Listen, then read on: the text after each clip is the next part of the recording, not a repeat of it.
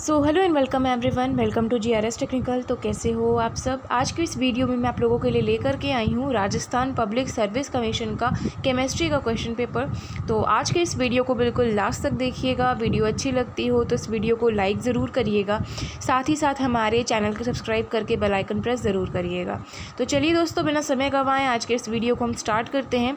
ये जो क्वेश्चन जो है, बहुत ही इंपॉर्टेंट क्वेश्चन हैं और बहुत ही मतलब ये मतलब ये नहीं कहेंगे हम कि बहुत ही ईजी क्वेश्चन है या टफ़ क्वेश्चन है एक लेवल का क्वेश्चन है जो कि आपको यहाँ पे आंसर करना होता है।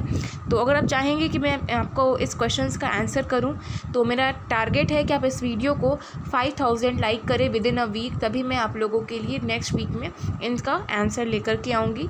तो अभी इस वीडियो को स्टार्ट करते हैं क्योंकि क्वेश्चन बहुत सारे हैं एंड ये वीडियो थोड़ा लंबा हो सकता है।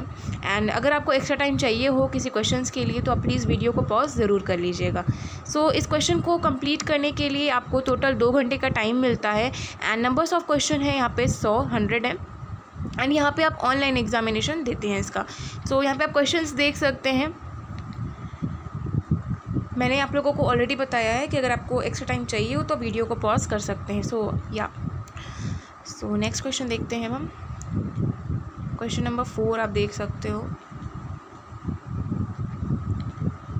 Question number five and question number six right so बहुत ही मतलब एक अच्छा क्वेश्चन है लेवल वाला क्वेश्चन है। अगर आपने पूरा पूरा पढ़ा हुआ है, आप एक मच्योरिटी के साथ पढ़ाई करते हो तो ही आप इस एग्ज़ाम को क्रैक कर पाते हो। You have that patience you have that eligibility तो ही आप में अगर वो बात है, तभी आप इस एग्ज़ाम को क्रैक कर सकते हो।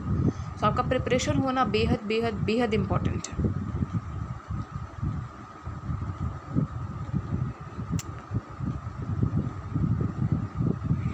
नेक्स्ट क्वेश्चन देखते हैं।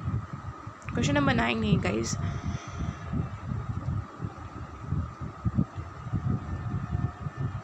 डिस्ट्रैक्शन आपको बहुत सारा मिलेगा कि आप ये वीडियो देख लो, ये सोशल मीडिया यूज़ कर लो घर पर आप सोते रहो, पढ़ाई मत करो। बहुत सारा आपको डिस्ट्रैक्शन मिलेगा पढ़ाई करते समय। लेकिन the one only one thing is your target आपका टारगेट क्या है? आपके अंदर आपको आगे करना क्या है वो मेन चीज़ है। अगर आप कुछ बनना चाहते हो सो आपको मेहनत करनी पड़ेगी। बट अगर आपको सोने के लिए पूरा लाइफ टाइम है अगर आप आ, किसी जॉब से अगर आप जब रिटायर हो सकते हो तो भी आप ज़िंदगी भर सो गए उस समय आपके पास रिस्पॉन्सिबिलिटी होगा लेकिन थोड़ा पढ़ाई का बात अलग होता है। सो so, यहाँ पे आपको क्वेश्चंस देखने को मिल रहे हैं। क्वेश्चन नंबर फोर्टीन है guys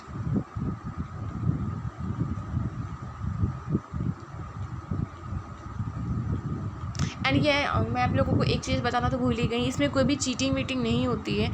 So if you are thinking कि यार इस क्वेश्चन को हम देख लेते हैं एंड uh, मैं गूगल करके uh, इसका आंसर दे दूँगी या दे दूँगा on online process so it is not for you guys ऐसा नहीं होता है।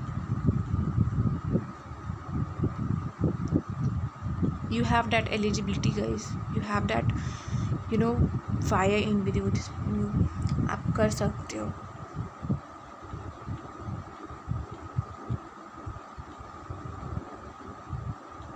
हर किसी का एक बुरा वक्त होता है, बुरा फ़ेज़ होता है बट जब वो चला जाता है तो एक अच्छा फ़ेज़ आता है। एंड अच्छा फ़ेज़ आता नहीं है, हमें लाना पड़ता है।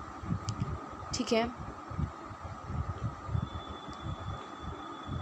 सूरज से आप वो आग ले लो और अपने आप के अंदर एक राग रखो कि हमें एग्ज़ामिनेशन को क्रैक करना है। हमें ये चीज़ चाहिए मतलब चाहिए, एक ज़िद होनी चाहिए।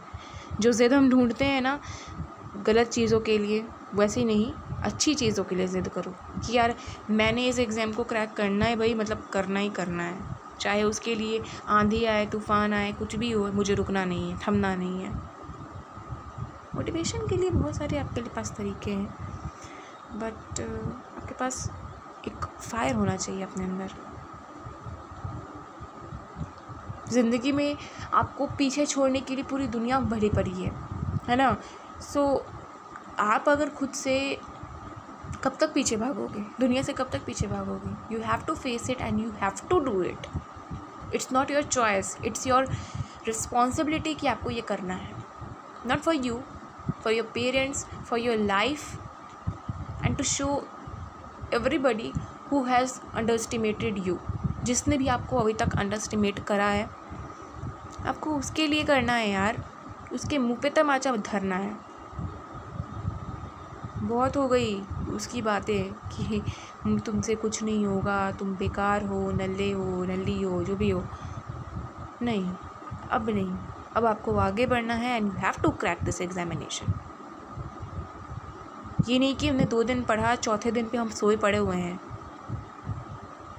एक टारगेट रखो ज़िंदगी का, जिसे पूरा करके ही रहो, वरना तुम्हारे जीने का कोई वैल्यू नहीं है। कोई तुम्हें पूछेगा ही नहीं। सीरियसली यार गाइस आपको बात मेरी भले बुरी लग रही हो, लेकिन बहुत ही जो फैक्ट बात है, मैं वही आप लोगों को बता रही हूँ। ये क्वेश्चन सॉल्व कर देते हो, बहुत ही बड़ी चीज़ है।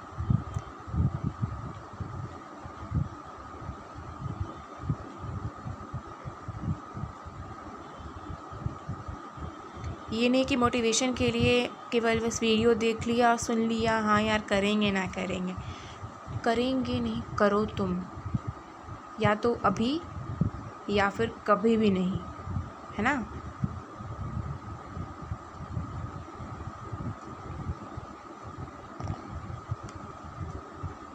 तुम्हारे पेरेंट्स ने अब तक बहुत तकलीफ़ देखा है। पढ़ाने के लिए तुम्हें रखने के लिए, पालने के लिए हर एक छोटी बड़ी ज़िद पूरी की है। और अगर नहीं की है तो अपनी ज़िद तुम पूरी खुद करो।